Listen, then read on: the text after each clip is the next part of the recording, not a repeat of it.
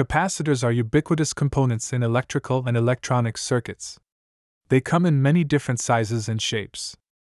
Though they are passive components like resistors, capacitors play distinct roles in circuits, from filtering to frequency tuning. Fundamentally, though, a capacitor's main function is to store electrical energy. But how exactly does this work? At its core, a capacitor consists of two conductive plates separated by a dielectric, which is a non conductive material. In their quiescent state, these plates are electrically neutral. The number of positive and negative charges on each plate is at an equilibrium. However, when connected to a voltage source, like a battery, the plate linked to the positive terminal starts losing electrons, becoming positively charged. In contrast, the plate attached to the negative terminal receives electrons, thus becoming negatively charged. As the capacitor continues to charge, the voltage across its plates begins to increase. This charging process persists until the voltage across the capacitor equals that of the external voltage source. The accumulated charges set up an electric field represented by this equation, where V is the potential difference or voltage and D is the distance between the plates. The electric field lines, which extend from the positively charged plate to the negatively charged one, signify the capacitor's stored potential energy. Unlike a simple battery, the energy is not in the charges themselves but the field they create. After a capacitor is charged, it maintains its charges at the plates even when the voltage source is removed. Now, if a conductive path between the plates is provided, the accumulated electrons on the negatively charged plate begin to move towards the positively charged plate in an attempt to neutralize the charge disparity. This movement of electrons constitutes the discharge current. As the discharge progresses, the electric field established between the plates starts to decrease in intensity. Each electron that returns to the positively charged plate reduces the strength of this electric field. Consequently, the energy stored within the capacitor is released into the circuit.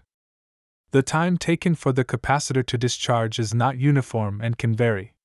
This duration is influenced by factors such as the capacitor's inherent properties and the specific characteristics of the connected circuit.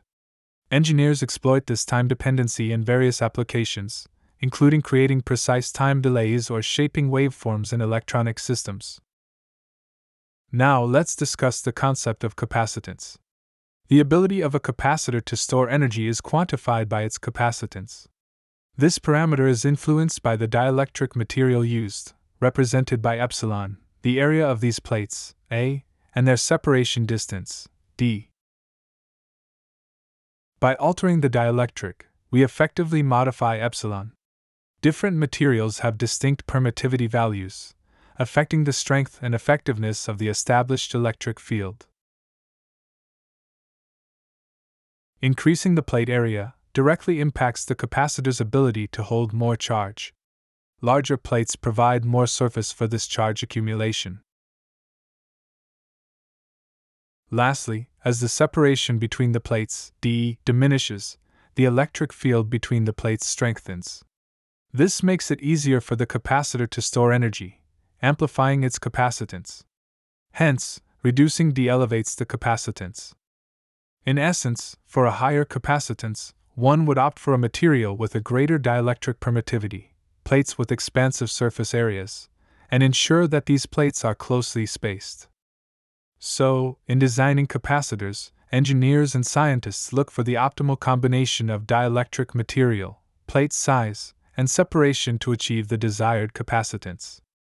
The unit of capacitance is the farad, named in honor of Michael Faraday. Practical applications, however, more commonly utilize subunits such as microfarads, nanofarads, and picofarads. That wraps up our deep dive into capacitors. I hope this breakdown helped clarify things for you. If you found it useful and are keen to learn more about similar topics, don't forget to hit that subscribe button. Thanks for watching.